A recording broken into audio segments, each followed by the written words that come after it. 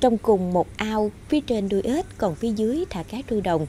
Một dòng tuần quan khép kín trên mặt áo đất giúp gia đình anh Nguyễn Hoàng Bảo và chị Đào Thị Xuân Trâm ở thành phố Bảo Lộc, tỉnh Lâm Đồng khởi nghiệp thành công. Anh Bảo làm khung bằng thép trên có phủ lý thưa.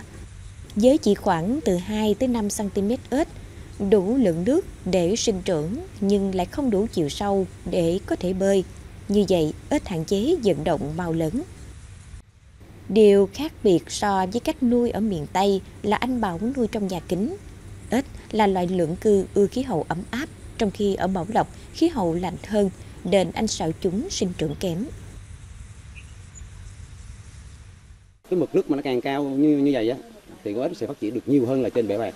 Nếu trên bể bạc mà mình chỉ cần ừ, sơ ý một chút xíu thôi, nó sẽ dẫn đến hao hụt con ếch rất nhiều. Thức ăn của ếch còn thừa khi lọt qua khe lưới đến cá rô đồng thụ hưởng. Ếch lột da mỗi ngày, lớp nhớt cũng trở thành thức ăn cho cá. Gia đình hoàn toàn không phải cho cá ăn thêm.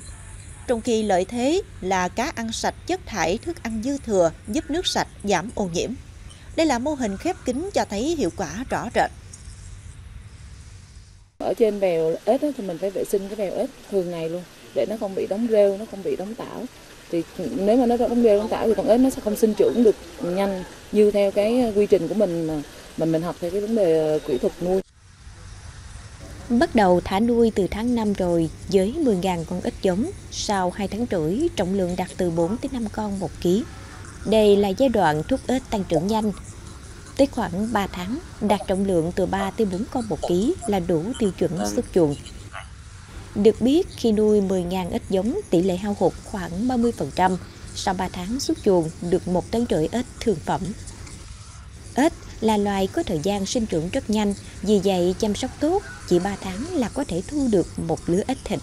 Việc nuôi ếch, cá rô đồng cũng đủ trọng lượng để xuất bán. Vì vậy, những nông dân ưa thích nuôi ếch ở Bảo Lộc thành lập được một tổ hợp tác để cùng phát triển nuôi. Gia đình anh Bảo đang nghiên cứu nuôi ếch sinh sản. Yếu tố quan trọng nhất phải đảm bảo môi trường nước sạch. Vì thế, ao nuôi phải có hệ thống xả nước. Như vậy, vật nuôi mới ít hao hụt